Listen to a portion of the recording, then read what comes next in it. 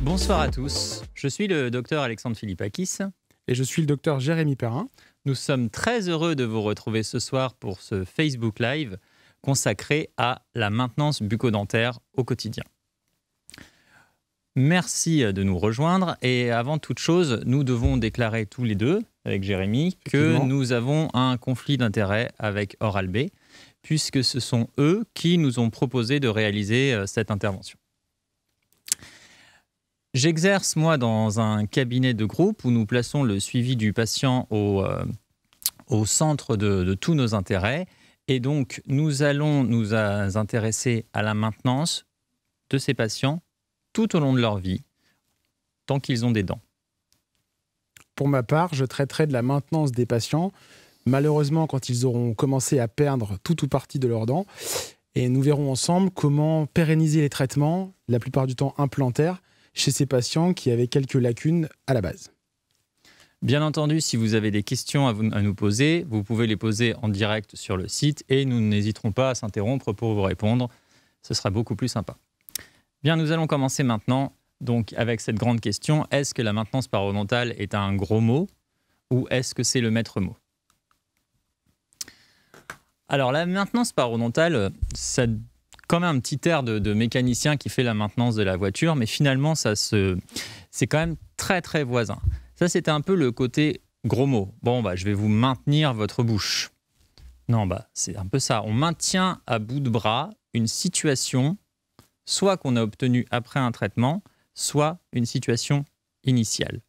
Le concept a quand même beaucoup évolué au fur et à mesure des classifications pour devenir la thérapeutique parodontale de soutien. Il y avait trois types de thérapeutique parodontale de soutien. Nous avions la thérapeutique parodontale de soutien primaire, qui était la prise en charge des patients qui n'avaient pas de problème parodontal et qui présentaient des facteurs de risque. Nous avions la thérapeutique de parodontal de soutien secondaire, qui était le traitement qui était, qui était le traitement de suivi des patients dont la parodontite avait été traitée et stabilisée. Et enfin, nous avions la thérapeutique parodontale de soutien tertiaire, qui celle-ci était destinée aux patients qui ne pouvaient plus être traités afin de maintenir la situation le plus longtemps possible. C'était un traitement palliatif. Les concepts ont évolué et maintenant on parle de traitement parodontal de suivi si on veut vraiment très académique. Mais la maintenance parodontale, tout le monde comprend encore ce que ça veut dire. C'est un jeu fin, la maintenance parodontale, c'est un jeu d'équilibriste entre les agressions biochimiques, bactériennes, microbiennes que va subir le corps et la, et la, bouche, et les défenses immunitaires de l'hôte. Et donc nous, notre rôle, ça va être du mieux possible, avec tous les moyens possibles, de maintenir cet équilibre très précaire pour garder une santé bucco-dentaire viable. Donc on va faire tout ce qui est possible pour empêcher l'initiation de tout nouveau processus infectieux qui pourrait causer des dégâts. On va se faire quelques chiffres parce que c'est important de resituer euh, ces difficultés qu'on va avoir. Allez, ce sont des, chiffres qui sont euh, publiés par l'OMS, la HAS, donc des choses que vous pourrez retrouver très très facilement. Ce qu'il faut comprendre, c'est que 80% de la population adulte souffre de gingivite. Donc la question que vous pourrez vous poser, c'est combien de patients vous avez traités en paro cette semaine? 50% de la population adulte souffre d'une parodontite. Pareil, on peut se poser la question de ne pas traiter de parodontite du tout. Bien sûr, on sait, ça peut être un choix, on peut référer, mais néanmoins, ça représente une partie importante de la population. Bien sûr, la thérapeutique parodontale de soutien, la maintenance parodontale ne concerne pas que le parodonte, à mon sens, elle concerne aussi toutes les lésions carieuses. Alors, on va se faire quelques statistiques pour montrer à quel point c'est important au niveau de la prévention primaire. Donc, les enfants de 6 à 12 ans, ce sont des données qui datent un peu, c'est de 2006. Le CAO était de 0, donc dans 50% des cas. C'est intéressant, ça veut dire que la politique de prévention fonctionne, mais on avait d'énormes disparités en fonction des catégories socio-professionnelles. Au fur et à mesure que les enfants grandissent, on arrive à 12 ans. Donc là, le CAO était de l'ordre de 1,2, donc il a été quasiment divisé par 4 en 30 ans. Ce sont des données de 2006 là. Mais il restait toujours des grandes disparités en fonction des catégories socio-professionnelles. Il en est de même pour les adultes. Le CAO était entre 13 et 15, ça reste quand même très conséquent. Et au fur et à mesure qu'on arrive vers la fin de vie, et là ça va plutôt concerner ta partie, Jérémy, en institution, une personne sur trois est édentée. Donc on pourrait considérer que certaines choses sont des, des constats de réussite. À mon sens, voir qu'à 12 ans, euh, il y a une dent carriée ou restaurée chez un enfant, je ne vois pas ça comme un constat de réussite. Mais encore une fois, il faut qu'on fasse tout ce qu'on peut pour limiter ce genre de dégâts. Afin de voir quel est notre impact, ce sont des chiffres mondiaux, c'est qu'il y a 3,5 milliards de personnes qui sont concernées par les problèmes bucco-dentaires et que le coût direct et indirect de ces problèmes bucco-dentaires se chiffre à 545 milliards de dollars. C'est relativement impressionnant, nous pouvons le dire. Alors, il y a de portes de sortie à ce genre de problèmes qui ne sont pas récentes, parce que ça fait 40 ans qu'on est en courant, ce sont des Suédois qui avaient fait ces études, c'est qu'en cas de suivi strict, c'est-à-dire des visites chez le dentiste tous les deux mois, une hygiène bucco-dentaire optimale, aucune nouvelle carie ni éteinte parodontale était à déclarer. La seule chose qui pouvait arriver, c'était de la fracture mécanique, donc des fêlures dentaires ou radiculaires. Donc, c'est-à-dire que si on met tous les moyens de notre côté, on peut vraiment traiter nos patients de façon à ce qu'il n'ait peu ou pas de problème. Évidemment, là, ce sont des Suédois. Les Suédois sont connus pour être vraiment très, très maniaques sur ce sujet. Et bien sûr, je ne vous dis pas de suivre vos patients tous les deux mois, mais je vais vous donner quelques clés pour mettre certaines choses en place. Nous, ce qui nous intéresse, c'est de maintenir nos résultats de traitement, bien sûr, parce qu'on s'engage vis-à-vis du patient, même si on n'a qu'une obligation de moyens, on a toujours envie que notre traitement reste pérenne. Et quand on ne met pas en place de traitement complexe, on veut maintenir la situation actuelle du patient. Pour cela, il y a deux choses qui sont importantes la prophylaxie professionnelle, d'accord, qui va viser à désorganiser le biofilm. On pourrait vous tenir toute une journée là-dessus sans difficulté, donc ce n'est pas ce qu'on va faire ce soir. Et il y a la prophylaxie personnelle, c'est-à-dire tous les moyens possibles que le patient va mettre à pratique chez lui pour maintenir une hygiène bucco-dentaire satisfaisante. Il va y en avoir plusieurs qu'on va détailler tout au long de sa vie. On va avoir un brossage dentaire. Je vais privilégier la technologie aussi rotative, je vais vous expliquer pourquoi plus tard. Et un nettoyage interdentaire qui va se faire soit par du fil dentaire, soit par des brossettes interdentaires. La prophylaxie professionnelle doit, à mon sens, commencer particulièrement tôt et doit être déclinée tout au long de la vie. Donc vous allez devoir avoir un discours pédagogique personnalisé au patient. Ce n'est pas un fourre-tout. Surtout ne pas apporter de jugement. On parlait tout à l'heure des disparités sociales. Quand une personne vient vous voir avec un état déplorable dans la bouche, avant de commencer à dire quoi que ce soit, il faut peut-être se poser la question de ce qui a pu lui arriver pour en arriver là. D'accord hein, Quand on a une mère célibataire qui s'occupe de ses deux enfants en bas âge et qui vient vous voir quand ses enfants ont grandi parce qu'elle n'a jamais pu s'occuper d'elle avant, on va bien se garder d'avoir n'importe quel type de jugement. Dans votre quotidien, vous devez répéter l'importance de l'hygiène bucco-dentaire pour que les patients intègrent ce point. D'accord Et surtout les encourager dans leur réussite et aussi les encourager quand vous voyez qu'il y a une difficulté c'est très très important. C'est comme un enfant qui apprend à marcher. On ne naît pas en sachant se brosser les dents. C'est notre rôle à nous de leur montrer comment faire. Alors pour les jeunes enfants, les plus petits, on va s'intéresser particulièrement aux parents. Pour ma part, j'aime bien commencer dès maintenant le bilan bucco-dentaire de la femme enceinte, voilà, dans les mois de la grossesse. À ce moment-là, la, future maman est extrêmement réceptive dans la plupart des cas à ce genre de recommandations. Et pour la, ça vient souvent même d'elle-même. Donc, ça va être des conseils sur qu'est-ce qu'il faut faire et qu'est-ce qu'il ne faut pas faire. Évidemment, on va lui expliquer très très rapidement que peu importe la difficulté qu'elle va avoir avec son futur bébé, qu'il pleure au milieu de la nuit, pendant des mois ou ce genre de choses, il faut absolument bannir tous les apports sucrés sur les tétines et autres biberons, tout ce qui pourrait le calmer. Donc ça, il faudra absolument pas le faire, sinon on va se retrouver dans des photos euh, cliniques désastreuses comme celle du bas où on voit donc les caries précoces de l'enfant.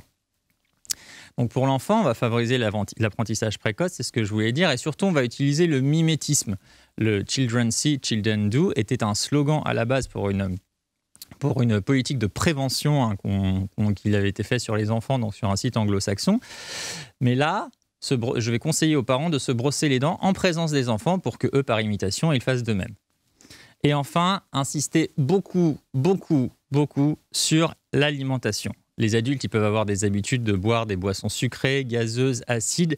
Ça, c'est vraiment un très mauvais choix pour les enfants.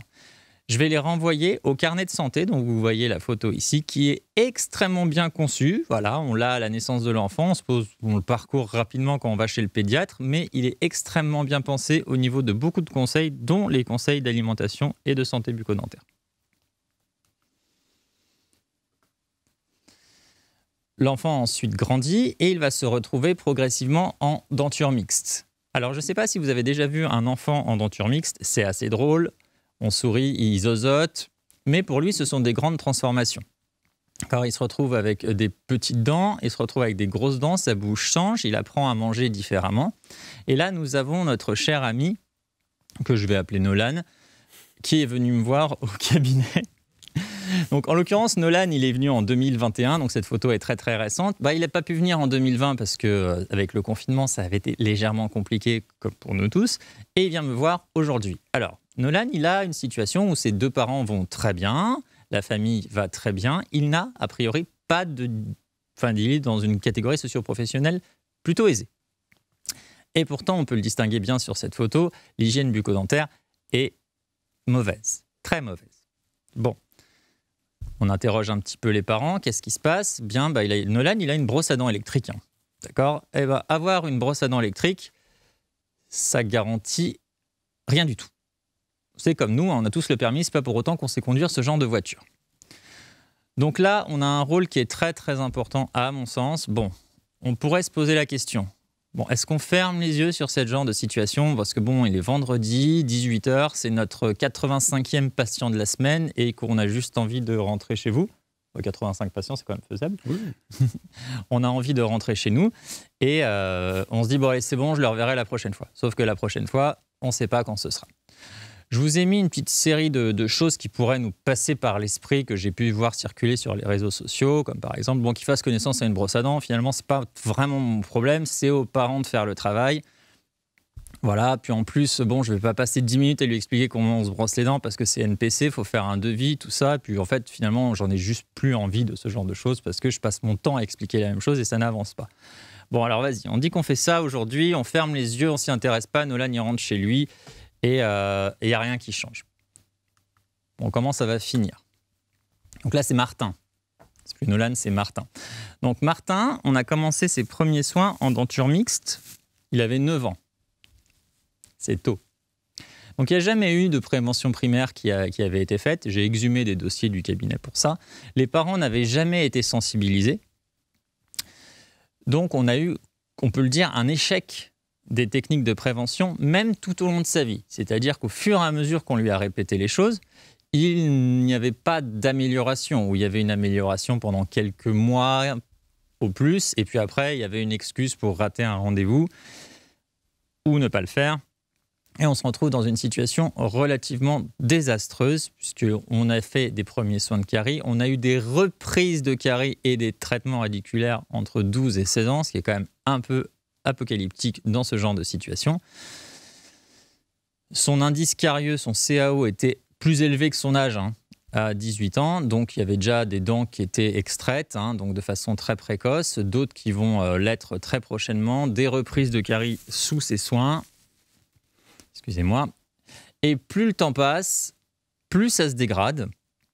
Et on retrouve donc, enfin en l'occurrence Martin, à 23 ans là, sur la panoramique qui est en bas à droite, avec donc des égressions non compensées, enfin des reprises de caries sous les amalgames, des nécroses. Enfin, c'est vraiment. Euh, c'est pour nous, c'est une catastrophe de travailler dans ce genre de situation parce qu'on sait qu'on fait quelque chose et que six mois plus tard, on va devoir le refaire. Enfin, c'est un vrai désastre.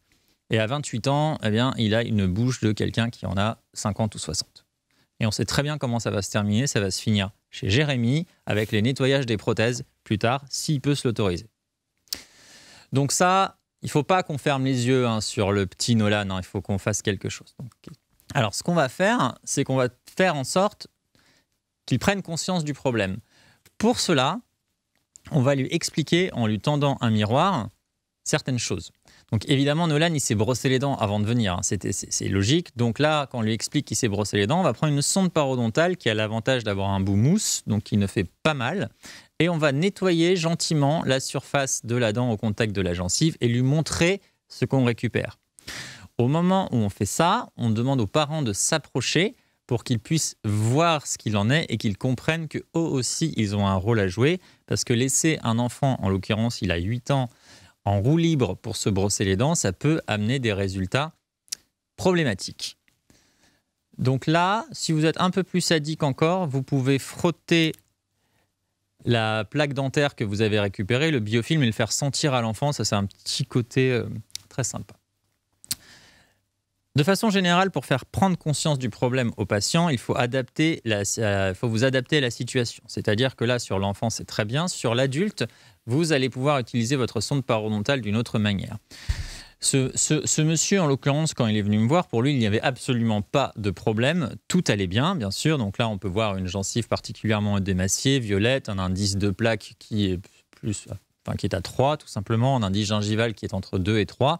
Donc, quelque chose qui est quand même relativement installé. Là, c'est important, si vous passez votre sonde, vous pouvez lui montrer que ça saigne quand vous enfoncez la sonde. Par contre, il faut être prudent et ne pas lui faire mal. Parce que comme le patient, pour lui, il n'a pas de problème, si vous lui faites mal à ce moment-là, c'est vous qui générez le problème qu'il n'avait pas au départ. Donc soyez prudent avec cette technique. Si vraiment vous avez affaire à un réfractaire, vous allez pouvoir utiliser une coloration, un révélateur de plaques. Donc voilà la situation initiale. Je me souviens très bien que quand j'avais montré euh, cette photo à la patiente, elle m'avait regardé gentiment en me faisant comprendre c'est ce qu'elle voyait tous les jours devant son miroir et pour elle, il n'y avait pas de problème. Donc j'utilise un révélateur de plaques jaune fluo que je pourrais vous détailler plus tard si vous le souhaitez. Et ici, on se retrouve avec donc une présence assez marquée du colorant. Et là, la patiente, elle ne peut plus se réfugier derrière une excuse peu valable. Et là, elle se rend compte plus du problème. Donc ça, c'est une technique vraiment, si vous voyez quelqu'un qui est réfractaire, je vous encourage à l'utiliser. C'est très très simple et c'est un colorant qui part très très très facilement. Ensuite, nous allons expliquer les outils et la technique. Donc là, il va falloir adapter votre discours à la personne que vous avez en face de vous, à ses besoins, à son âge. Alors moi, je travaille particulièrement avec la technologie oscillo-rotative. Pourquoi? Puisqu'il y a un avis qui a été publié par la Cochrane depuis maintenant quelques années qui signifie que le brossage oscillo-rotatif obtient des meilleurs résultats que le brossage manuel. Donc je travaille uniquement avec ça. Pour la Cochrane, pour ceux qui ne connaissent pas, c'est donc en fait euh, un groupe qui fait des revues de littérature, qui parcourt la, littérature, scientifique et qui donne des avis euh, sur certains protocoles ou certains sujets. D'autant plus qu'on peut utiliser la technologie aussi rotative au moyen de ce qu'on appelle le test and drive, c'est-à-dire que vous avez une brosse à dents de démonstration avec des têtes interchangeables que vous pouvez changer entre chaque patient et que, vous allez changer entre chaque patient qui sont jetables en fait. On fait un petit effort pour qu'elles le soient moins, mais elles sont jetables et euh, vous allez pouvoir montrer en direct à votre patient tout de suite comment fonctionne euh, la brosse à dents électrique de façon à ce qu'il puisse mettre en pratique vos conseils tout de suite. Donc là, je vais vous proposer une petite vidéo qui dure environ deux minutes où je fais toute la séquence d'explication euh, au fauteuil du brossage aussi rotatif. Voilà, si on peut lancer la vidéo, s'il vous plaît. expliquer le mouvement de la brosse à dents électrique? Voilà, s'il vous plaît, prenez le miroir. Donc, vous voyez, la tête de la brosse à dents électrique tourne sur elle-même. Ce qui est très, très, très important, c'est le placement de la brosse. Regardez bien le miroir, s'il vous plaît. on va se positionner à la jonction entre la gencive et la dent, comme ceci, parce que c'est là que se déposent les bactéries en premier et c'est ici que l'inflammation commence. Donc le principe, ça va être de placer la brosse à dents électrique et de la mettre en activation, comme ceci. D'accord? Et vous restez environ 3 à 5 secondes en place. On ne fait pas ce mouvement-là, comme avec une brosse à dents manuelle. Ici, c'est la brosse à dents qui travaille à notre place. Vous devez sentir en permanence que les poils touchent la dent et la gencive. Si vous ne sentez pas que les poils touchent la gencive, ça veut dire que vous êtes comme ceci. Et donc là, vous voyez bien que l'on n'est pas efficace. D'accord? D'accord. Donc, comment ça fonctionne? Ça, c'était le placement. Je vous ai montré devant parce que c'était plus facile à voir. Pour, ce, pour faire le fond de la bouche, vous ouvrez grand, vous glissez la brosse à dents à l'intérieur de la joue et vous refermez doucement. Allez-y. On travaille bouche semi-fermée. Vous voyez là, la joue se détend Mhm. ici et on peut aller travailler jusqu'au fond de la bouche. Fermez. Justement, regardez, quand vous ouvrez la bouche, ouvrez grand. Voyez, le muscle de la joue chasse la brosse à dents et c'est très difficile d'aller brosser au fond. C'est pour ça qu'il faut le faire bouche semi-fermée. Voilà, très bien. Donc on y va. On se place. Ici, vous sentez très bien les poils de la brosse à dents qui viennent à la jonction entre la gencive et la dent. On attend 5 secondes. Et on continue.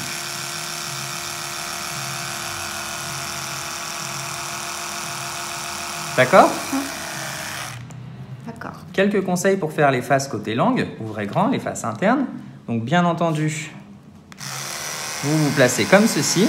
D'accord? Vous sentez les poils toujours qui touchent la gencive. Si vous ne le faites pas, ça veut dire que vous êtes comme ça et ça, ce n'est pas suffisant. Dès que vous arrivez sur les dents de devant, ici, je vous conseille de redresser le manche de la brosse à dents pour pouvoir bien épouser les surfaces dentaires. Si vous êtes à plat, vous risquez d'avoir une bascule de la tête de brosse et donc vous ne serez pas efficace. Et évidemment, vous faites les faces masticatrices comme d'habitude. D'accord? Ça va? Oui. Très bien. Je vais maintenant vous donner les références du produit. On va repasser au bureau. Alors, je crois qu'on a une petite question. Oui, alors Alexandre, est-ce que tu pourrais expliquer la différence qu'il y a entre la technologie oscillo-rotative et la technologie sonique, s'il te plaît? Voilà, tout, en fait, tout simplement. Euh, C'est pas le même mouvement, déjà? Oui, c'est ça. C'est les, alors les différents types de mouvements, euh, bah, toute la mécanique. Après, euh, dire euh, est-ce qu'il y a un système qui est meilleur qu'un autre, c'est pas forcément ce que je, je pourrais pas forcément répondre à ça. Moi, j'utilise la technologie que je maîtrise le mieux, avec les résultats que j'ai pu voir qui sont particulièrement satisfaisants. Techniquement, Pour compléter, moi je Ouais, pourrais dire que je trouve que sur les brosses oscillo-rotatives, il y a beau- un, un beaucoup plus grand panel de têtes de brosse aussi. qu'on peut adapter aux patients. Et c'est ça qui, moi, me séduit. Et je vous montrerai tout à l'heure, d'ailleurs, quel type de brosse j'utilise. Voilà, donc euh, on a l'habitude de fonctionner avec ça, ça donne de bons résultats, donc après on n'a pas forcément euh, eu besoin de recourir à d'autres euh, à d'autres types de brosses. On va poursuivre. Donc voilà, donc après après l'enfant, la technique que je vous ai montrée là, elle est reproductible assez facilement. En, en- vous avez vu la vidéo, elle dure deux minutes, elle est très complète euh, dans la gestuelle, dans la façon de se placer pour que la patient tienne le miroir. Donc vous pourrez la, re- la- la regarder à nouveau pour voir les différents détails, mais ça vous éclaircit beaucoup d'horizons par rapport à la façon dont vous devez communiquer et euh, vous pouvez appliquer ça rapidement. Donc après, on a notre jeune homme qui va grandir et quand il aura enfin quitté euh, son dispositif multi-attache orthodontique, il va se retrouver dans cette situation avec, on l'espère, une denture plutôt stable et une petite barre de contention linguale. Donc là, on va pouvoir bien sûr l'encourager à utiliser sa brosse à dents électrique, mais aussi on va introduire le fil dentaire, qui est extrêmement important, parce que si on passe la brosse à dents électrique, finalement, on ne nettoie que 50% des surfaces. Donc, on est dans un âge aussi où il commence à être un peu plus réfractaire. Vous savez, c'est quand ils vous répondent avec des monosyllabes du genre Salut, comment tu vas? Installe-toi. Hmm. D'accord, tu t'es brossé les dents aujourd'hui Hmm. Ok, donc ça, on en a tous dans, no- dans notre patientèle. Donc, il faut être particulièrement vigilant par rapport à cette, euh, cette barre de contention, lui expliquer comment passer la brosse à dents en dessous. la brosse à dents avec enfin, le brossage avec la brosse à dents électrique peut-elle causer des récessions gingivales? Alors, il y a des façons d'utiliser la brosse à dents électrique, à savoir que moi je conseille maintenant exclusivement les têtes les plus souples. Donc à un moment donné, c'était la tête sensitive, c'est devenu la sensi ultra fine, et maintenant ça a encore changé de nom, je crois, c'est la sensi care, si je ne dis pas de bêtises, voilà, c'est ça. Et maintenant, les brosses à dents, les, plus, les brosses à dents euh, électriques aussi rotatives les plus performantes ont des capteurs de pression, à savoir qu'elles euh, presque qu'elle débraye, c'est-à-dire qu'il y a une lumière qui apparaît quand, quand, le patient appuie trop fort. Et euh, donc, on a ce, ressenti, c'est-à-dire il y a quand même des garde-fous. Après, c'est sûr qu'en appuyant sur un, comme un sourd, une brosse à dents manuelle peut créer des récessions gingivales. Si on utilise un outil pas assez prudemment, c'est pas impossible. On verra un cas tout à l'heure. Donc, je reviens sur mon adolescent. Après, si on arrive à trouver des moyens pour le faire se brosser les dents mieux. On peut même utiliser l'application qui est associée à la brosse à dents électrique. Ça reste peut-être un moyen de lui faire rentrer des connaissances en plus. On passe maintenant à l'adulte. Et là, c'est intéressant puisqu'on va avoir un panel de différences des gens qui sont plus ou moins susceptibles aux maladies parodontales, aux maladies carieuses. Et là, surtout, ce qu'il va falloir, c'est adapter son discours aux besoins du patient. À savoir, cette dame ici qu'on va revoir plus tard, quand vous regardez les lignes euh, vertes que j'ai positionnées, elle se brosse plutôt bien les dents avec sa brosse à dents. On a peu de dépôts. Par contre, pour ce qui est euh, du nettoyage interdentaire, c'est pas du tout au point. Et là, dans la mesure du possible, je vous conseille d'utiliser une, brosse, une brossette interdentaire. Le fil dentaire, je trouve que c'est pas super pratique. Donc dès qu'on peut, on utilise la brossette interdentaire. Au départ, quand vous commencez à mettre ça en place, soyez pédagogique, montrez bien comment ça se passe. Ne donnez pas plus de deux tailles aux patients, sinon ils vont complètement s'y perdre et vous risquez d'avoir un échec. Donnez-en plutôt une qui peut passer facilement, lui disant voilà, vous faites ça d'abord, et puis par la suite, vous, en prenez, vous prenez cette autre taille afin qu'il se familiarise avec l'outil. Il faut tenir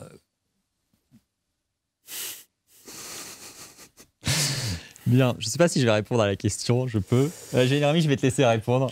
Je tiens à saluer mon ami Adrien, qui à partir de maintenant n'est plus un ami, euh, qui aura bientôt des problèmes capillaires aussi. Bien. Donc il faut ensuite tenir compte des difficultés du patient. Sur la photo, là, vous allez me dire, non mais mon Dieu, elle est horrible cette photo. Vous avez vu, là, les écarteurs, ils sont, ils sont mal positionnés. Bah, c'est tout simplement que ce patient a une tonicité, enfin, en plus d'être sourd et muet, il a une tonicité labiale euh, énorme. Et on le voit, ses dents maxillaires sont relativement bien brossées par rapport à ses dents mandibulaires.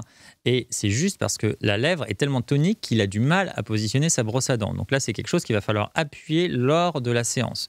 Et aussi, il faut tenir compte d'autres difficultés. Certains patients vieillissent, ont des AVC, des problèmes de santé, et leur préhension devient de moins en moins efficace. Et donc là, l'avantage d'une brosse à dents électrique, je trouve, par rapport à une brosse à dents manuelle, est que le manche est plus large et donc on peut mieux attraper la brosse à dents. Et sinon, il y a des dispositifs qui existent pour en fait euh, clipser la brosse à dents à l'intérieur et en fait augmenter l'appréhension à travers de balles en caoutchouc. Vous pouvez même, si vous êtes un peu plus euh, bricoleur, utiliser un silicone C que vous moulez à la poigne du patient et vous insérez la brosse à dents à l'intérieur. Comme ça, il a quelque chose de reproductible. On n'a pas d'autres questions d'Adrien, apparemment. C'est peut-être pas plus mal. Et ensuite, notre travail, ça va être d'optimiser les conditions euh, bucco-dentaires du patient pour qu'il puisse se brosser les dents correctement. Sur la photo de gauche, vous avez un patient qui prend des inhibiteurs calciques, donc la gencive est extrêmement inflammatoire, bourgeonnante. Là, évidemment, vous pouvez lui donner tous les conseils du brossage que vous voulez, ça ne lui permettra pas de mener à bien sa mission. Il faudra pratiquer une gingivectomie. Euh, régulièrement, en l'occurrence, avec ces médicaments, on a des récidives fréquentes, pour qu'il puisse avoir une hygiène bucco-dentaire acceptable. Concernant l'autre photo, là on est sur un patient jeune qui en fin de traitement orthodontique se retrouve avec une récession et là il n'a plus de gencive adhérente.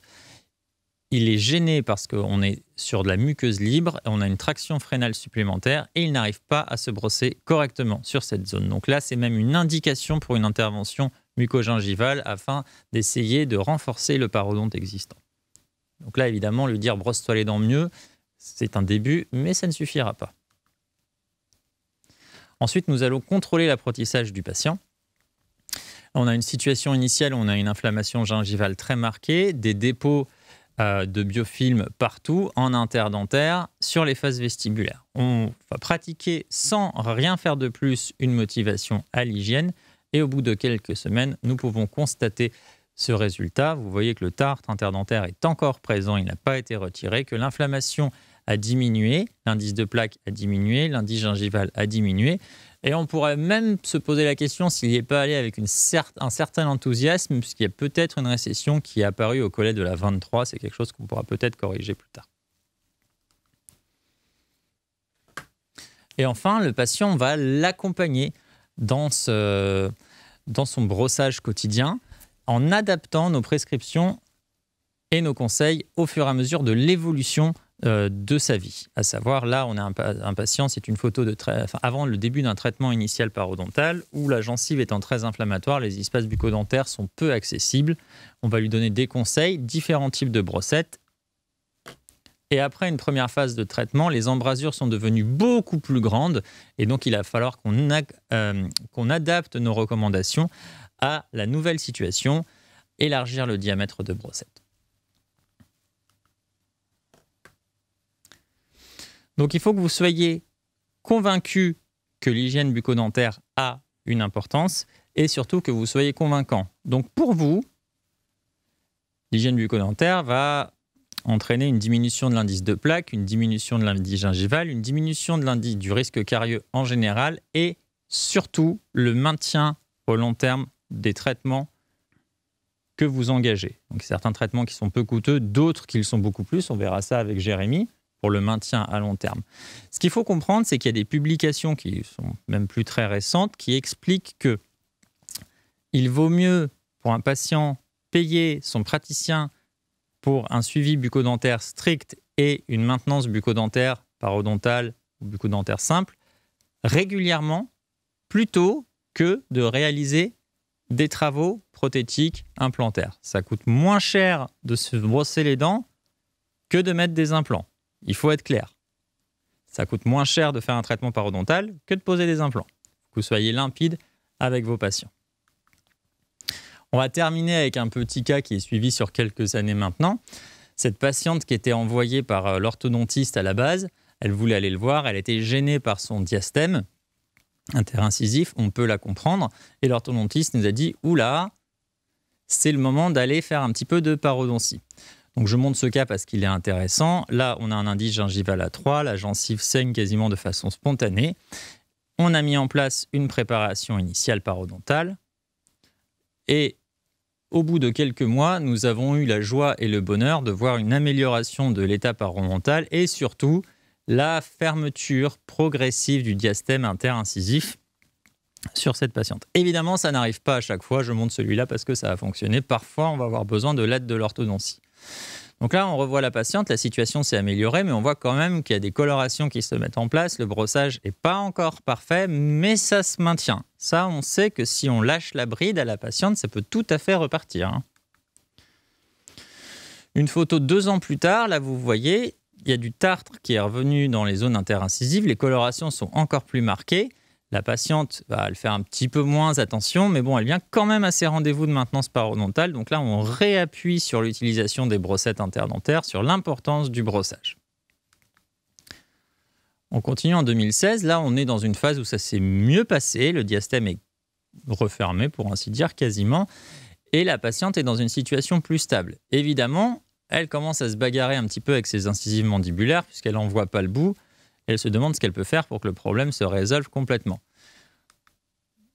Là, c'est une photo de 2019 où elle a commencé un traitement par Invisalign. Vous voyez les taquets euh, qui sont positionnés sur un vestibulaire des dents et vous remarquez que les incisives, les incisives mandibulaires prennent une position bien différente. Bien sûr, la papille avait été perdue à cause de la parodontite et du positionnement de les dents, donc on ne la retrouvera pas. Mais là, il faut à nouveau adapter son discours et le matériel à la nouvelle situation. Ici, elle passe, il doit passer une brossette plus large qu'elle n'a jamais passé auparavant dans cette zone, puisque ça fait en gros 30 ans qu'elle passe un fil dentaire dans cette zone. Voilà, j'ai pas de photos plus récentes malheureusement, j'espère l'avoir cette année. enfin, pour vous aider un petit peu à mettre ça en place rapidement, je vais euh, vous indiquer comment j'organise une séance de maintenance parodontale, une maintenance bucco-dentaire. Donc évidemment, à chaque fois que vous voyez un patient, il faudrait prendre le questionnaire médical. Et plus on s'endort dessus parce qu'on connaît nos patients depuis des années, moins on a tendance à le faire. Et c'est là qu'on peut passer à côté de choses difficiles. D'autant plus que le renouvellement du questionnaire médical est obligatoire tous les 9 mois. Ce n'est pas moi qui le dis. C'est euh, le médecin, enfin le dentiste conseil en l'occurrence, qui, euh, qui nous l'a rappelé. Ensuite, vous allez faire votre examen clinique et je vais répondre à la question. Et vous allez faire une remotivation. Alors la question c'est que répondre au patient quand il nous dit que quand la gencive saigne, il évite de brosser. Alors, vous allez d'abord expliquer, c'est une question qui arrive très très très fréquemment quand même. Oui, bah oui, je sais, je brosse, je brosse, ça saigne, du coup j'arrête de brosser. Vous allez lui expliquer comme on a fait tout à l'heure avec le miroir, en prélevant gentiment les dépôts bactériens qui se qui se sont mis là sur le collet de, sa dent et lui expliquer que c'est à cause de ça que la gencive saigne. Si vous voulez, vous pouvez appuyer légèrement sur la gencive avec une sonde parodontale pour montrer le tartre en général qui traîne en dessous et lui dire et c'est aussi à cause de ça. Donc, après, vous pouvez lui dire on va commencer à détartrer doucement et comme ça, très très vite, ça va moins saigner et vous allez pouvoir nettoyer, enfin mieux brosser. De façon générale, on fait un petit aparté, moi, lors de la mise en place d'un traitement parodontal avec le patient, je lui explique les objectifs. Et dans les objectifs, on peut lui dire de façon certaine qu'à la fin du traitement, les gencives vont dégonfler, que le saignement va diminuer drastiquement, qu'il va sentir ses dents plus fermes et qu'il pourra mieux manger. Donc, il n'y a pas de secret, ça si vous l'annoncez dès le départ, c'est normal qu'il ait ces petites phases où il évite de brosser, mais qu'à la fin, il pourra rebrosser correctement s'il suit vos recommandations. J'espère avoir répondu à la question. Donc, dans la séance de maintenance, vous allez systématiquement reparler à un moment donné du brossage des dents. Quand vous voyez un patient une fois tous les six mois ou une fois par an, si vous zappez de parler du brossage une fois, il peut se passer deux ans, voire trois quand il oublie de revenir, sans avoir parlé du brossage des dents. Et au bout de trois ans, les patients, si on ne leur rappelle pas les brossettes interdentaires, ils décrochent. Il y a des publications là-dessus. Ensuite, une bonne moitié de votre séance va être allouée à l'instrumentation euh, de toute la bouche. Et à la fin, vous allez donner quelques recommandations. Et parmi ces recommandations, j'encourage vivement, si c'est des maintenances qui doivent être faites tous les trois mois, des maintenances strictes quatre mois, voire tous les six mois, la prise du rendez-vous suivant. Si on lâche la bride aux patients, assez vite, ils arrêtent de venir. Ce sont des choses qui sont connues.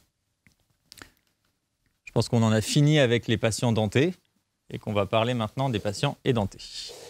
Euh, oui. Implantés. Donc a priori, il n'y a plus de questions pour toi, Alexandre. Si jamais il y a des questions qui doivent arriver sur la partie d'Alexandre, on essaiera d'y répondre à la fin de la présentation. Et comme Alexandre vous l'a expliqué, je vais maintenant vous parler des patients qui n'ont pas fait ce que Alexandre leur recommandait et malheureusement qui ont perdu leurs dents. Donc moi, je suis omnipraticien. Ça, ce sont des photos tirées de mon... Ah, Alexandre, il y a une question pour toi. Oui. Utilises-tu le gel d'aloe vera dans tes traitements paro Non. Merci, Alexandre. Donc, je vous représente de nouveau mes patients de mon cabinet que j'aime, qui se brossent les dents trois fois par jour et qui n'ont jamais de problème. Euh, c'est pas des trucages. Je suis un petit peu en milieu rural. Et effectivement, bah, c'est comme avec les enfants, la pédagogie, faut répéter. Et comme euh, toi, Alexandre, moi j'aime beaucoup le système test and... Alors, est-ce qu'il y a des documents, de documentation à donner aux patients pour compléter notre enseignement à l'hygiène? Alors, euh, oui. Donc, vous, vous, pouvez lui donner des fiches de prescription avec tous les, les, euh, les produits que vous avez utilisés toutes les fiches de référence pour qu'ils repartent directement et qu'ils puissent les acheter. Après, vous pouvez lui montrer des vidéos pédagogiques qui sont trouvables très très très facilement sur tous les sites de prévention bucco-dentaire et autres. Voilà. Vous pouvez aussi faire des photos d'autres patients. Voilà. Les photos, euh, moi, me servent aussi à expliquer aux patients ce qui va leur arriver et ce qu'il faudra qu'ils fassent. Le tout, c'est de trouver le moyen qui convient le mieux à votre patient, de celui auquel il est le plus sensible.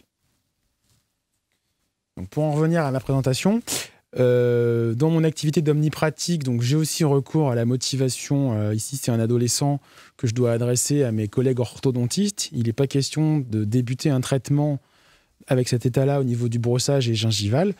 Et en fait, je vais vous montrer comment, dans ma pratique, je me suis servi de ce que je faisais en omnipratique et je l'ai adapté.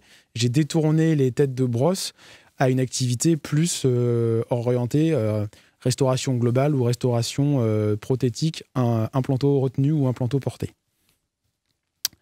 Donc en haut, on voit ici une tête de brosse en gros plan euh, de Test and Drive, donc le système de démonstration au fauteuil. En bas, on voit les têtes de brosse qui sont spécifiques aux appareils orthodontiques. Et en fait, moi, celle que j'aime beaucoup, c'est la, la, tête de brosse qui est en bas à gauche, qui est vraiment toute petite et qui va me servir pour euh, pas mal de choses. Je vais vous détailler ça dans les diapositives qui viennent. Euh, il y a une nouvelle technologie qui est sortie il n'y a pas, pas très longtemps, il y a un an à peu près, euh, avec des micro-mouvements. Donc c'est toujours oscillo-rotatif, mais c'est beaucoup plus souple, beaucoup moins agressif. Ici, c'est un patient qui a malheureusement eu un carcinome, qui a eu des radiothérapies. Comme vous le voyez, il a les dents d'ébène parce qu'il n'a pas porté ses gouttières. Donc on lui réexplique qu'avec 30 ou 40 séances de rayons, les extractions, ça va être compliqué. Et donc moi, je lui ai conseillé cette brosse qui est vraiment très douce où il y a effectivement un capteur de pression pour qu'il puisse entretenir au mieux euh, ce qui reste au niveau dentaire. J'ai malheureusement dû en enlever quelques-unes avant le début des rayons. Et évidemment, je l'encourage à porter au maximum tous les jours euh, sa gouttière porte-gel fluoré. Donc pour répondre à la question sur est-ce que vous faites des fiches pour vos patients, pas forcément, mais maintenant avec les téléphones, on peut tous faire des petites vidéos comme ça pour expliquer aux patients dans quel ordre passer, comment le positionner, et euh, voilà, remettre aux patients les informations qui sont nécessaires. Ceux qui ont des sites internet, vous pouvez laisser ça sur vos sites internet pour que les patients euh, s'y retrouvent. je passe parce que du coup on est un petit peu en retard avec la panne de, de, flux tout à l'heure. Euh, et voilà. Et en fait, moi, je récupère, j'espère que je suis pas le seul, mais je récupère des patients dans ces situations-là. C'est pas moi qui ai réalisé les prothèses. Et le patient vient en contrôle des tartrages. Et quand on tire la lèvre, voilà ce qu'on trouve. Alors évidemment, ça va pas faire très bon ménage avec les implants. Pour les sticks silicone contre les brossettes, je répondrai à la question tout à l'heure, si ça, ne vous dérange pas. Euh, et donc voilà, l'objectif, ça va être de faire des, restaurations implantaires qui sont bah, coûteuses, compliquées, et si possible pérennes pour qu'on puisse euh, bah, pas les refaire tous les, tous les matins. On est tous un petit peu débordés. Et quand je vois les patients arriver comme ça, déjà, je suis content de ne pas avoir fait les prothèses, mais il euh, bah, faut reprendre tout depuis le début. Voilà un autre patient qui est venu en contrôle avec mon collaborateur. Euh, où euh, il est ravi d'avoir ses prothèses sur un plan. Pour lui, tout va bien, il n'y a aucun problème. Je vous ai pas mis les radios, mais euh, les plus paros d'entre vous savent que bah, certaines spires sont abîmées. Et le patient, alors c'était un Parisien en vacances, ne, ne comprenait pas qu'on on était un peu étonné par son état dentaire. il est reparti à Paris après ses vacances. On va pas être amené à le revoir régulièrement a priori, euh, ça m'arrange.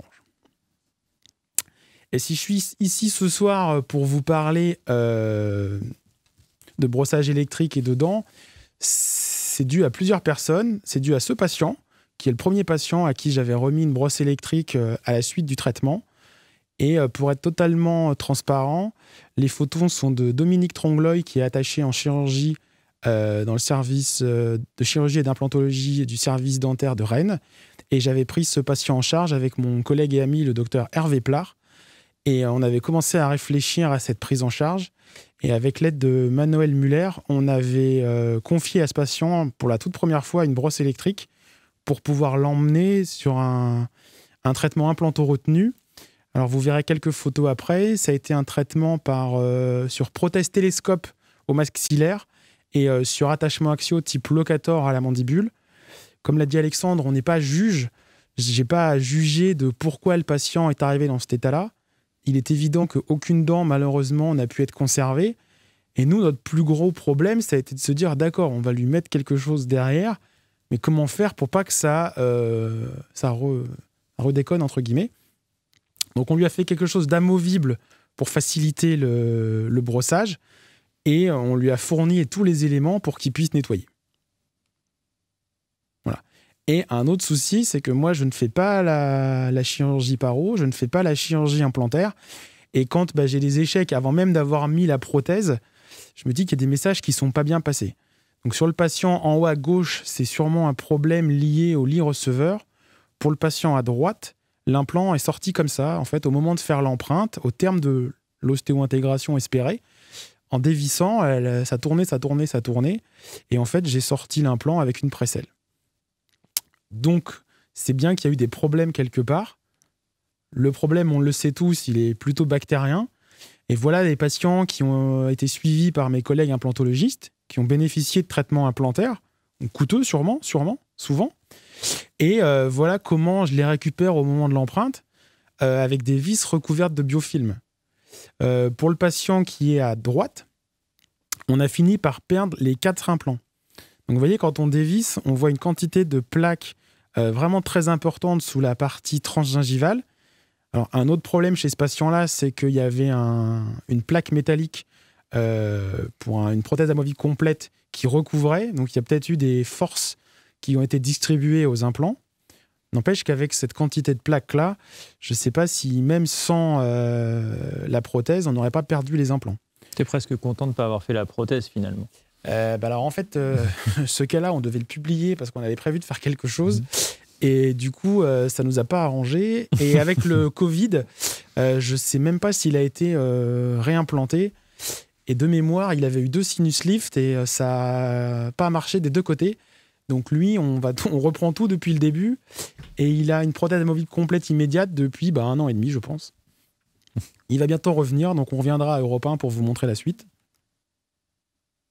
Voilà, ça c'est une patiente que j'ai vue la semaine dernière ou il y a deux semaines. Il a fallu que je sorte le détartreur pour pouvoir euh, déposer la vis de gauche. Tellement il y avait du tarte dans le puits de vissage, le tournevis ne pouvait pas rentrer. il est évident qu'à ce moment-là, s'il n'y a pas une prise de conscience du patient, quoi que j'aille mettre dessus, attachement axiaux, barre, euh, ça marchera pas. Et évidemment, comme je réalise la partie prothétique, je suis co-responsable du traitement. Donc finalement, bah, ça me retombera dessus euh, toujours.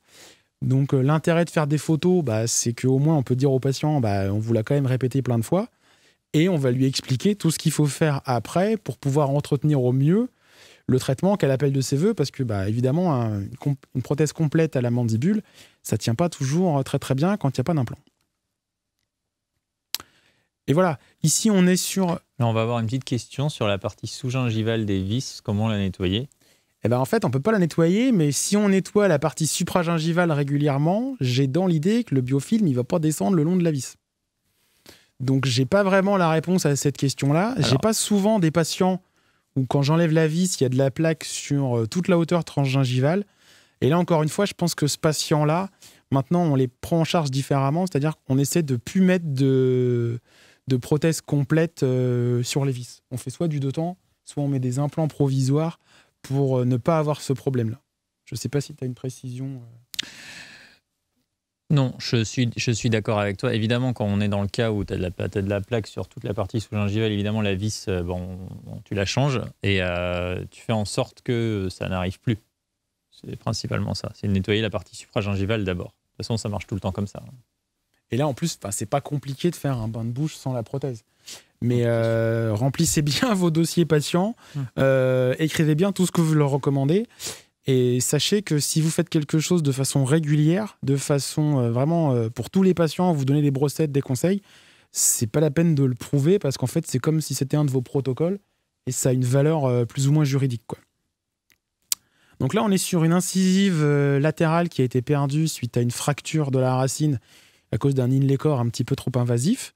L'espace euh, mésiodistal est assez restreint, mais il existe sur le marché soit des têtes de brosse électriques, soit des brosses manuelles adaptées à ces espaces restreints pour que le patient puisse brosser. Vous voyez, la vis en haut à gauche, on voit pas bien, mais il y a du biofilm.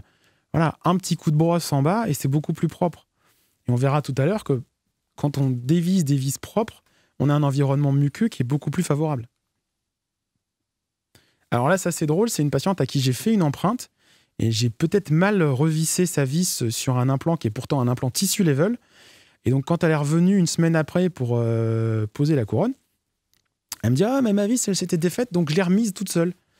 Et donc, on voit la quantité de biofilm qui arrive à passer donc, au niveau de cette vis, donc un tissu level, une émergence qui est au niveau de la gencive, voire à peine juxta-gingivale. Et on voit quand même pas mal de biofilms.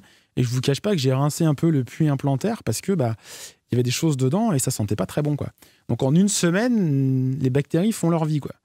Donc euh, des, implants sous une prothèse complète pendant 3-4 mois d'ostéo-intégration, on imagine les dégâts et on les a vus tout à l'heure. Voilà, ici c'est une incisive mandibulaire, donc là c'est l'espace le plus restreint possible.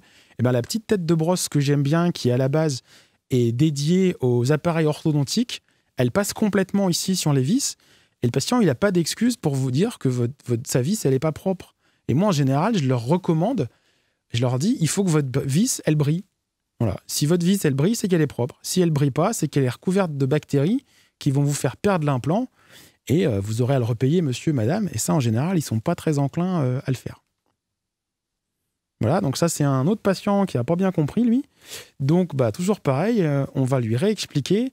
Et là, vous voyez deux implants sur la photo. Bah, il y en a un des deux qui a été perdu avant même euh, la mise en place euh, du bridge d'usage, alors qu'il n'y avait pas de prothèse provisoire. Il voulait pas de prothèse amovible, ça se voyait pas trop sous sa lèvre. Et ben même en l'absence de prothèse, on peut perdre des implants. Sinon, on aurait mis des vis plus plates, mais voilà, là, absence de prothèse amovible, juste un brossage inexistant, on perd 50% des implants. Et voilà ce que moi je souhaite euh, et que j'espère, que j'appelle de mes voeux le plus souvent. C'est-à-dire, même si c'est des implants qui sont plutôt enfouis avec une importante euh, épaisseur de tissu muqueux, bah, quand on enlève les vis, voilà, il n'y a pas de saignement, le cône muqueux il est propre, et là on peut faire ce qu'on veut. On peut faire une empreinte, on n'est pas pollué par euh, de l'inflammation ou du sang. De la même façon qu'on a un parodonte sain pour des prothèses dentaires, eh ben, un tissu périimplantaire sain va nous faciliter l'empreinte et toutes les étapes suivantes. Voilà une autre patiente, certes assez âgée, à qui j'ai recommandé l'usage de brosse électrique puisqu'elle a 80 ans, je crois, et que voilà, là on n'a pas encore fait la prothèse, elle a pas de prothèse amovible non plus, elle en voulait pas. Euh, le projet c'était de lui faire un bridge, euh, et on lui a fait d'ailleurs un bridge euh, de type Holland Fort en zircone, mais on lui a pas fait tant qu'elle n'avait pas des vis bien propres, sinon on allait à l'échec. Donc voilà, pour répondre à la question de tout à l'heure, bah, vous faites des petites vidéos avec votre téléphone. Vous, avez la tête de brosse spéciale euh, appareil d'orthodontie. Vous brossez bien sur la vis. Vous passez de vis en vis. Et vous pouvez passer ce type de vidéo, euh, vous les laissez sur le bureau de votre ordinateur lors de la consultation, ou sur un iPad, ce que vous voulez. Et vous pouvez expliquer, voilà, on a mis des implants, c'est simple, faut que ça brille, vous prenez la brosse et vous frottez. Et voilà, s'ils font ça, c'est pas très compliqué on obtient des photos. Alors celle de gauche est un peu sombre, où on a un environnement euh, muqueux qui est vraiment parfait. Et là, on peut faire ce qu'on veut. La photo de droite, c'est suite tout à l'heure à qui on a retiré un implant. Vous voyez que maintenant qu'il brosse, ça va nettement mieux. On en a reposé un. Il est un peu plus euh, distallé par rapport à la canine si vous avez bien regardé les radios. Et maintenant qu'il brosse, eh ben, on peut travailler. Évidemment, euh, le but de tout ça, c'est de faire des prothèses et d'adapter le message. Donc, une fois que la prothèse a été assemblée sur l'implant, on change la tête de brosse et on explique au patient qu'avec la même brosse à dents, il peut aller brosser ses dents et nos prothèses implantaires. Ici, une couronne transvissée euh, unitaire encastrée. Voilà, donc le brossage électrique va être une aide en amont et après la, réalisation de la prothèse. Euh, évidemment, les autres euh, instruments de prophylaxie ne sont pas à négliger. Donc là, c'est un patient qui a un bridge implantaire. On devine à peu près ce qu'il a mangé le midi. Donc, on lui prescrit les brossettes adaptées pour qu'il puisse nettoyer les embrasures pour ne pas qu'on arrive aux catastrophes qu'on a vues en début de présentation où on voit le col, voire des spires implantaires exposés. Voilà, c'était ce patient-là à qui on a donné des brossettes de diamètre adapté. Donc, ce pas les mêmes brossettes pour toutes les embrasures. Et celui-là, je l'ai réadressé à mon collègue chirurgien pour éventuellement faire une greffe. Alors, je ne sais plus quel type de greffe, mais en gros, pour arrêter la récession. Voilà, certaines marques de brossettes mettent à disposition des jauges. Ici, on ne voit pas, mais devant le violet, il y a le rouge. Et le rouge passe entre les deux prothèses implantaires. Donc, on explique au patient qu'à cet endroit-là, il faut qu'il passe les brossettes de cette marque de la couleur rouge. Donc, plusieurs marques font des jauges. Vous pouvez en donner au patient. Et après, en fur et à mesure du traitement, bah, il peut choisir la brossette la plus adaptée euh, aux espaces interdentaires à traiter. Voilà ici des restaurations complètes sur un plan qui ont été réalisées par Yves Gastard au centre de soins euh, à Rennes. Euh, c'est un plaisir de travailler avec Yves. Les prothèses sont magnifiques. Si les patients ne les entraînent pas, les entretiennent pas, pardon, il n'y aura pas de miracle. Donc nous, bah voilà, à chaque fois avec l'équipe de Rennes, les patients ils repartent avec des brossettes, du fil dentaire, des, prescriptions, de révélateurs, enfin tout ce qu'il faut pour qu'ils puissent nettoyer. C'est à mon sens les restaurations les plus compliquées à nettoyer. C'est pour ça qu'elles ne sont pas adressées à tous les patients. Et c'est pour ça qu'on n'avait pas fait ce type de traitement pour le patient très parodontal que je vous ai présenté euh, tout à l'heure. Un autre type de nettoyage possible, c'est du fil dentaire avec des segments en silicone euh, espacés.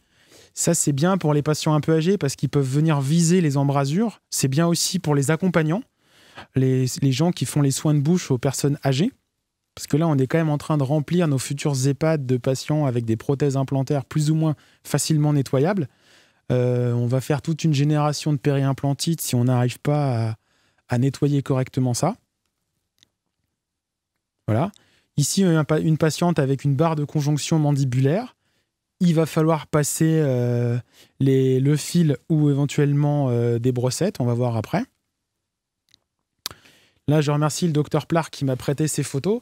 Ce sont des restaurations de type pilotis euh, sur lesquelles on vient passer, en plus des brossettes, l'hydropulseur. Vous voyez qu'en très gros plan sur les photos du, dessus, on voit déjà le dépôt de biofilm autour des émergences des implants ou des vis de type euh, euh, multi-angulé. On a une petite question, euh, Jérémy. Donc, des praticiens qui préconisent de mettre une pommade antibiotique dans le puits de vis de l'implant au moment de la pose des vis de cicatrisation. Qu'en pensez-vous? Tu veux que je réponde Alors moi, je pose pas d'implant, donc la question, comme dirait l'autre, elle est vite répondue. je ne, je n'ai pas, à ma connaissance, au cabinet de pommade antibiotique. Je ne sais pas si toi tu le fais. Alors moi je suis pas familier avec ce protocole du tout. Euh, fréquemment, quand je change une vis ou quand je mets une vis de cicatrisation, je rince mon puits implantaire à la chlorhexidine euh, ou à la bétadine, puis je rince après à la solution saline avant de changer de vis. Ça fait partie des choses que je fais. Mais la pommade antibiotique, euh, ça arrive. Pour la, la question suivante, c'est quid de l'utilisation des hydropulseurs? Ça va arriver. Bah, c'est juste la diapo du moment. Voilà, c'était le temps de taper la question. Donc, euh, pour moi, c'est pas suffisant parce que ça va pas aller racler suffisamment euh, soit le pontique du bridge, soit le. Alors, le fil de silicone. Alors, il vient de chez Gum, c'est l'Access Floss de chez Gum. Je crois que c'est ça. Voilà. On avait, pas dit, on avait dit pas de marque, mais vu que vous posez la question, on va répondre. c'est la concurrence, donc en plus, ça arrange tout le monde. Euh, et donc, pour revenir à l'hydropulseur, qui est ici un oxygène de chez Oral-B, euh, à mon sens, c'est pas suffisant. C'est bien en complément des brossettes, mais je sais pas ce que tu en penses. Moi, je trouve que ça, ça n'enlève pas tout. Sous les, ces restaurations de type voilà, pilotis sur lesquelles il y a quand même eu un accès aux embrasures. Quoi. il faut vraiment qu'il y ait un accès aux embrasures et que la, prothèse se soit bien construite pour pouvoir passer ça correctement. Après, je suis moins catégorique que toi, mais. Euh, on verra en fin de présentation ce qui se passe quand on démonte des bridges sur lesquels il n'y a pas eu d'accès à l'hygiène. Hmm. J'espère que vous avez fini de manger. Voilà, une autre photo de mon collègue où on voit bien l'orientation de la tête pour pouvoir euh, bah, envoyer le jet d'eau ou d'eau plus de bain de bouche sous le pontique. Mais euh, moi, encore une fois, j'aime bien associer les deux. Après, si le patient il nettoie correctement juste euh, à l'hydropulseur, aucun problème pour moi. Donc voilà une petite vidéo qu'on avait fait à l'époque. Alors elle est assez rapide parce qu'on n'avait pas mis l'aspiration, où on explique au patient qu'il faut bien orienter à 45 degrés sous son bridge. Voyez, le niveau d'eau monte, donc la vidéo est pas longue, mais euh, vous pouvez le faire plus longtemps en mettant l'aspiration pour bien lui expliquer. C'est toujours pareil, euh, il y a plein d'instruments qui existent. Si on n'explique pas au patient comment s'en servir, autant rien lui donner. quoi. Et évidemment, il faut nettoyer sous le bridge, mais il faut aussi nettoyer le bridge. Donc là, avec une tête de brosse un peu plus grosse, euh, bah, la résine rose, la résine blanche, euh, faut nettoyer. Sinon, vous verrez tout à l'heure ce qui se passe. Il y a des dépôts sur les prothèses. Voilà. Et en fait, donc comme je vous disais, ce que j'aime bien une fois que la prothèse est réalisée, c'est me détourner la tête de brosse euh, orthodontique ici, puisqu'elle va avoir vraiment le diamètre adapté aux attachements axiaux, au pilier télescope. En bas à gauche, c'est le patient parodontal de tout à l'heure. Au contre-chape télescope euh, en bas à droite. Et euh, pour les parties femelles aussi, dans les prothèses, en haut à gauche. Mais ça, toujours pareil, il faut l'expliquer, le montrer au patient pour le faire participer à son traitement. Et euh, bah, pour la question de euh, est-ce que vous faites des supports pédagogiques pour vos patients?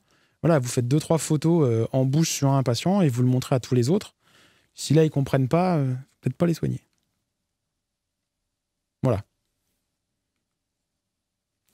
Donc pour ce qui était de la question sur les brossettes avec des poils en nylon ou les brossettes en silicone, à ma connaissance, il n'y a pas de différence significative. Moi, je, conseille l'un ou l'autre indifféremment. À partir du moment où le patient brosse, il n'y a pas trop de soucis. Peut-être que ce type de brossette est plus adapté aux patients avec une muqueuse un peu kératinisée, mm. peut-être moins douloureux. Et ici, on est sur une barre de conjonction maxillaire. Voilà, si le patient il passe ça ou d'autres types de brossettes ou du fil, euh, ça ne me pose aucun problème. Bien au contraire. De toute façon, dans les différentes publications et dans les différents résultats, ce qui est important, c'est le nettoyage interdentaire. Ce n'est pas particulièrement l'outil. Voilà. Voilà. Et sur ces types de barres de conjonction, bah, souvent, il y a des cavaliers. Et là encore, la tête de brosse est parfaitement adaptée à la taille des cavaliers et permet d'aller nettoyer dans le fond du cavalier. Si c'est pas fait, bah, le patient va revenir en vous disant euh, votre truc ça clipse plus, je suis pas d'accord, euh, ce que vous m'avez fait ça marche pas. Donc là on lui réexplique et en fait c'est de sa faute si ça marche pas. Voilà, donc des petites vidéos ici là sur les attachements type Locator et Novaloc. On voit que euh, sur la vidéo de gauche, il y a quand même des dépôts déjà qui sont euh, présents. Si ça part pas uniquement avec euh, les brosses, on verra tout à l'heure des instruments pour nettoyer les pièces, implantaires sans les rayer. Voilà. Alors une fois que le patient il vient en contrôle régulièrement, bah, ce qu'on peut faire aussi nous de notre côté, c'est aller sonder, aller regarder ce qui se passe. Donc euh, il y a des sondes en plastique pour être moins invasifs. Je vous rappelle toutefois que l'attache épithéliale, enfin l'attache des tissus périimplantaires est quand même moins solide que l'attache épithéliale autour des dents. Donc faut sonder mais avec euh, parcimonie. Et aller vérifier un peu euh, s'il y a l'augmentation de la profondeur de sondage, du saignement. Voilà. Une fois que vous avez fait ça, bah, il faut nettoyer les prothèses que le patient n'a pas nettoyées. Donc il existe euh, un kit avec ce type de tête de brossette que vous pouvez mettre sur contre-angle, pas trop vite, et vous pouvez passer ça en interdentaire euh, pour pouvoir nettoyer sans rayer. Toujours pareil, si on raye le titane, alors, pour les prothèses implantoportées, démontez-vous systématiquement la prothèse pour juger du niveau d'hygiène lors de votre consultation On m'a piqué ma question, Jérémy. Alors, celle-là, j'y répondrai à la fin. Euh, c'est évidemment la question que j'attendais. Euh, donc, oui, vous avez ici les, donc les instruments qui font partie d'un kit de prophylaxie qui permettent de pareiller les implants. Voyez qu'ici, ce patient, euh, manifestement, il y a déjà des gens euh, qui ont essayé de détartrer et qui ont rayé les implants, plus vous allez rayer le titane, plus vous allez créer de rétention et plus le biofilm va s'accrocher. Donc là, on va être dans un cercle vicieux, c'est pas vraiment l'objectif.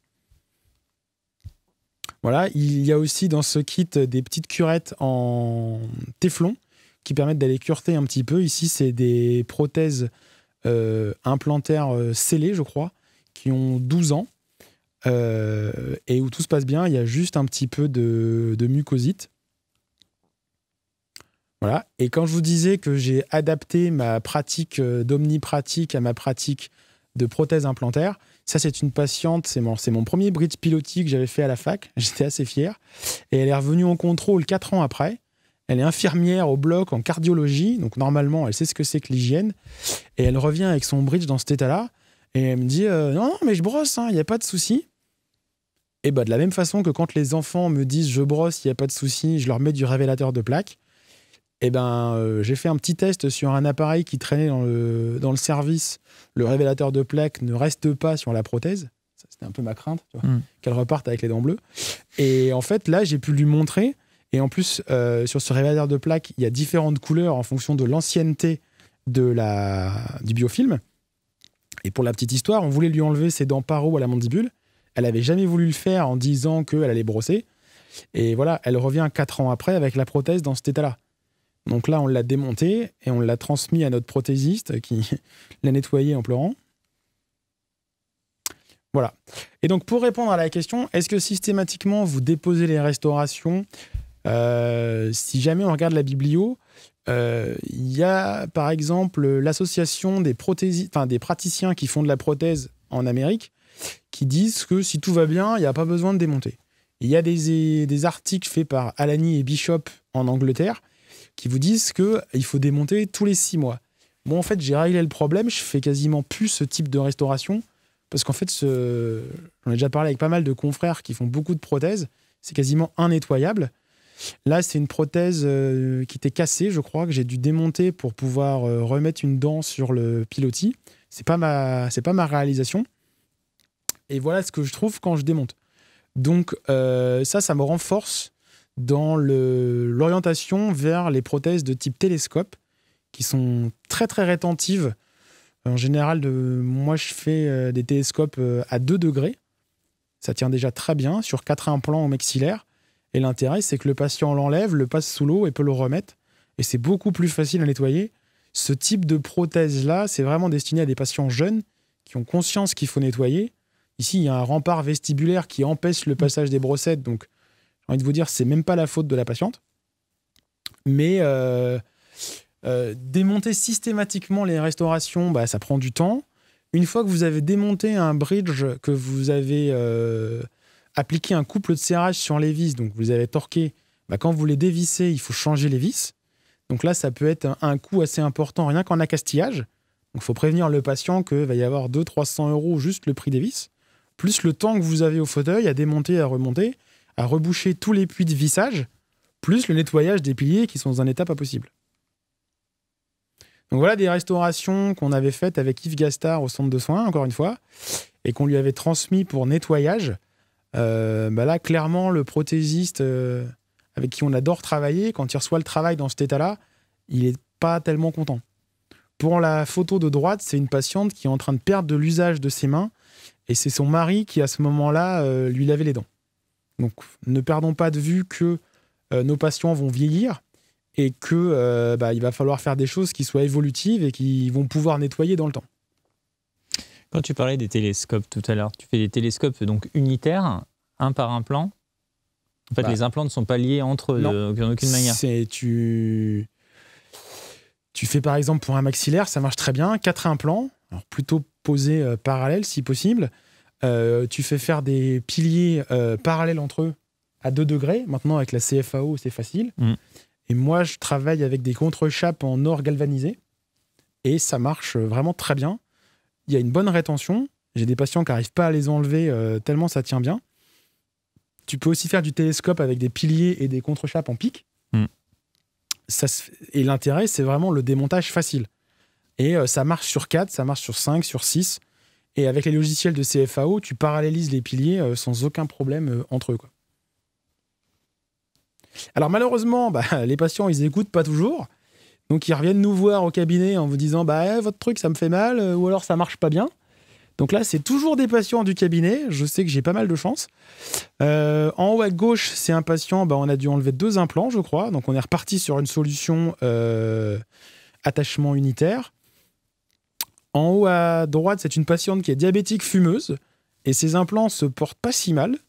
Mais régulièrement, on lui réexplique qu'il faut passer du fil, des brossettes, euh, tout ce que vous voulez. Et en bas, c'est des piliers locators qui sont recouverts de tartre.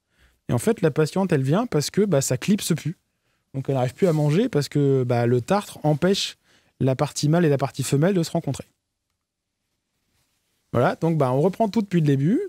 On réexplique. Il y a une usure dans le temps des attachements c'est prouvé dans la biblio, au bout de 18 mois, il faut changer les pièces. Par contre, qu'il y ait de la nourriture présente dans l'intrado de l'attachement, ça, c'est moins prouvé l'utilité dans la biblio.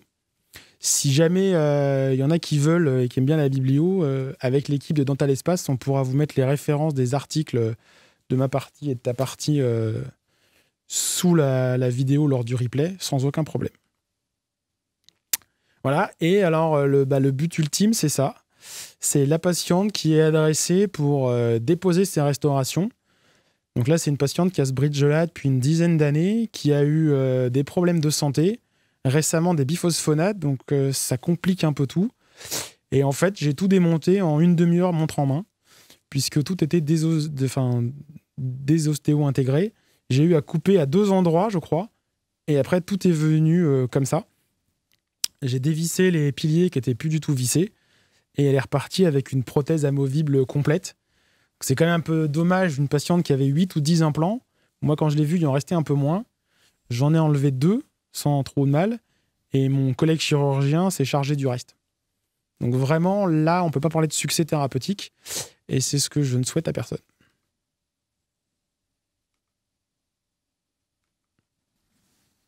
Euh, bon, ça ne marche plus. Hmm. Est-ce qu'on peut passer la diapo, s'il vous plaît? On a un petit blocage sur la diapo qui ne passe plus.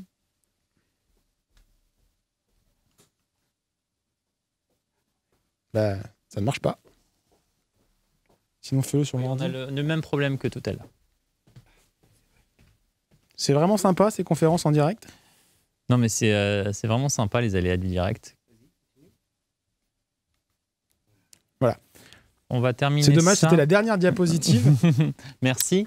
Donc, si le patient a une place prépondérante dans le succès du traitement, cette étude de 2009 euh, chez les Suédois et une étude brésilienne de 2020 viennent nous rappeler que l'accès à l'hygiène des prothèses est statistiquement corrélé au succès des restaurations. C'est-à-dire que si vous faites des prothèses avec votre prothésiste où il n'y a pas d'accès à l'hygiène autour des implants, statistiquement, il y aura plus de risques de périimplantite et il y aura plus de pertes osseuses marginales autour des implants. Voilà. En conclusion, on peut dire que la maintenance, c'est pas un gros mot. Je pense que c'est plutôt le maître mot de toutes nos thérapeutiques. Euh, on va rester un petit peu en ligne si jamais vous avez des questions à nous poser. Sinon, euh, ben, on pourra aller répondre aux questions euh, qui seront écrites sous le replay, je pense. C'est ça, il faut nous taguer au moment où vous posez la question. Et bah, on espère que vous avez passé un agréable moment et qu'on a répondu à l'ensemble de vos questions. Alors, il y a une petite question qui est apparue entre-temps, c'est que pensez-vous des brossettes interdentaires en silicone? Ah non, mais on a déjà répondu. On a déjà répondu, en fait. Hein. C'est-à-dire que peu importe le moyen de nettoyage interdentaire, il soit en silicone, en poil, en fil, euh, c'est il faut un moyen de nettoyage interdentaire, c'est capital. Et euh, il faut utiliser celui que bah, le patient euh, manie le mieux. Mais ça peut être douloureux si le parodonte n'est pas très kératinisé. Voilà, c'est ça. Si c'est pas épais, je n'aurais pas commencé par ça. En tout cas, on espère que vous allez pouvoir mettre en pratique nos différents conseils euh, rapidement au cabinet.